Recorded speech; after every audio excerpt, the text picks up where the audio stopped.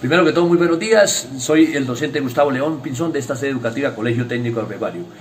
Eh, el profe nos acabó de explicar el proyecto de Robo Célago, donde definitivamente quedamos impactados nosotros como compañeros, que los muchachos de Patio Salto estén trabajando con esta metodología, donde se integran diferentes áreas, primero que todo, y segundo, la novedad para ellos. Y una cosa muy importante en este proyecto, ya que montó un sistema para, pues, definitivamente ecológico, llamémoslo la, parte esa, donde podemos esto, intervenir a esta, esta situación que está presentando en las diferentes sedes educativas. Cómo esto, eh, correr los murciélagos, llamémoslo así en términos más coloquiales. En cada una de estas sedes la idea es que él, junto con su equipo de trabajo, nos vinculen para que trabajemos unidos en el sentido de la palabra y que cada sede tenga este aparatico según sus necesidades.